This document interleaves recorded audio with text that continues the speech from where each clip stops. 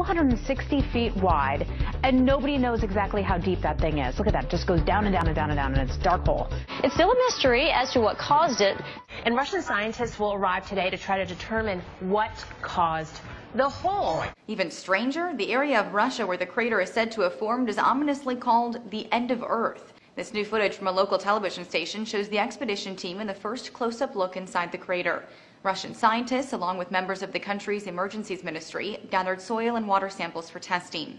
But while we wait for the team to finish its investigation, speculation about what may have caused the hole is all over the web. Perhaps the most popular and believable internet theory is that a large meteor, similar to the one that flattened a Siberian forest in 1908, struck the remote area. The idea certainly isn't that far-fetched given recent large meteor strikes in Russia and the physical nature of the newly discovered hole. But according to RT, a spokesperson from the Emergencies Ministry ruled that theory out, but didn't explain why. And as to be expected, when unexplainable things appear on our planet's surface, people jump to the conclusion that a UFO landed, crashed, drilled, or exploded out of the